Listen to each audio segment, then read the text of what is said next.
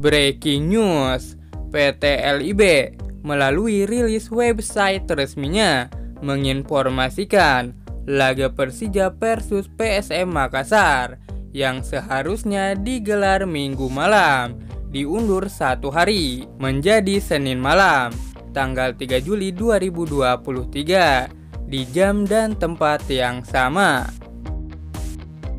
Keputusan resmi ini diambil berdasarkan surat PT LIB tertanggal 30 Juni 2023. LIB merekomendasikan pertandingan tersebut mundur setelah melakukan rapat koordinasi di Stadion Gelora Bung Karno. Kemunduran jadwal Persija versus PSM pun dikarenakan stadion yang belum ditata kembali setelah dipakai oleh salah satu partai terbesar di Indonesia.